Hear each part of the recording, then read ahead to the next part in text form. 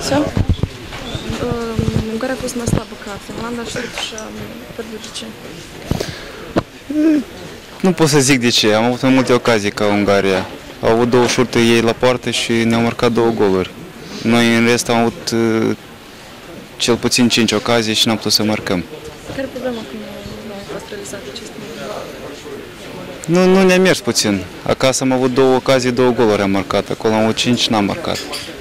Antrenorul ce v-a spunea după meci, ce v-a spus despre punctele slabe ale echipei?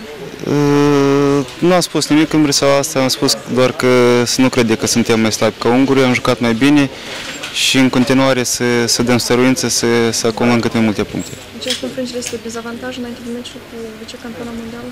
Eu nu cred. Cu, cu așa o echipă ca Olanda, eu cred că jucăm acasă cu suporterii noștri și trebuie să facem un meci bun. Azi cum explicați că a fost un meci bun la rezultat prost. Cum explicați așa? Nu cum, un, rezult, un meci bun, rezultat prost, sunt și așa meciuri. Trebuie să trecem și peste asta și în continuare să nu se mai repete.